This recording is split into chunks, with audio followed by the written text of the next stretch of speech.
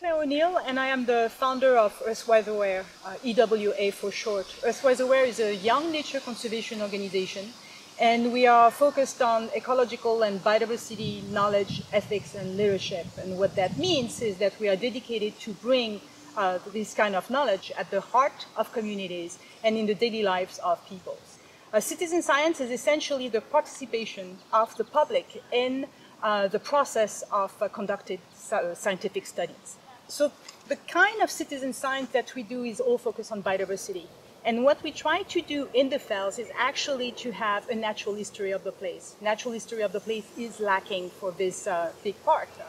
Uh, the fells is uh, part of the park system, uh, Massachusetts park system, which by the way, uh, combined with the Blue Hills and I think it's Beaverbrook Reservation is one of the largest park system in the world. So this is a beautiful area where we can really conduct climate and biodiversity type of study and citizen science. So, the, so essentially, we conduct here about six type of different kind of surveys. We do biodiversity survey, opportunistic survey, where we document biodiversity in the fells. Another one is about bird monitoring, which is counting birds for establishing bird population or bird abundance. We do arthropod survey or insect survey, uh, which really also encapsulate, you know, studying the pollinators in the fells. Um, we do plant community assessment, or we want to do because we haven't completed completely the protocol for that. And one that is very interesting as well is a vernal pool awareness and protection program. Uh, we have in the fells, this is kind of a hotspot for vernal pool, and a vernal pool is one of these pools that have a kind of a special hydrology where they go through a drought period uh, during the year or every other year, something like that. And what it really do is that it uh, prevents the pool from having population of fish establishing itself for themselves, and therefore they are predation free from these fish, and therefore they are fantastic, you know, breeding areas for salamanders and frogs, a certain kind of salamanders and frogs. So there are about 110 vernal pools, and half of them have been certified, which give them a specific status. So half of them have been certified half of them are not certified. And when you look at the geographical map of the candidate pool, you can see that they are all interspaced uh, among the certified pools. So when we saw that, we thought that it was a fantastic opportunity uh, to really ra raise awareness about wetland and this specific type of habitat. Uh, really coach people to understand more about the ecology of the place, right?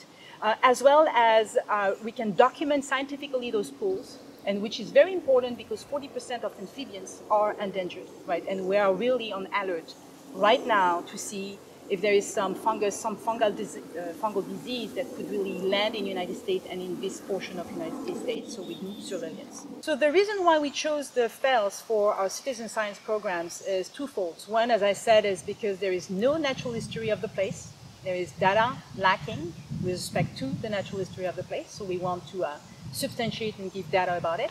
The second is because it's a fantastic set of habitat.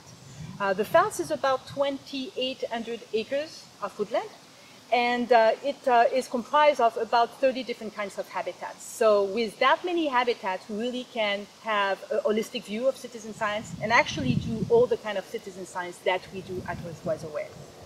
So one other thing that is important and why we use the fells as well as other locations, but certainly the fells, is because citizen science and this kind of habitats are really wonderful opportunities to reconnect people directly with nature and with the ecology of the place.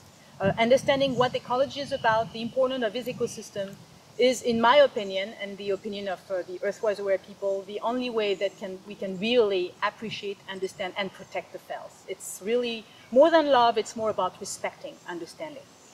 One of the big difference between the 1870s or 1890s and now is data, right? All the digital information.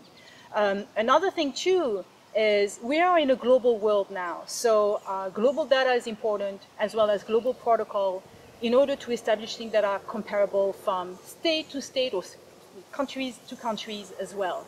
So uh, this is a major difference. The difference is that now the world of naturalists has to be more global than what it was in the 1870s.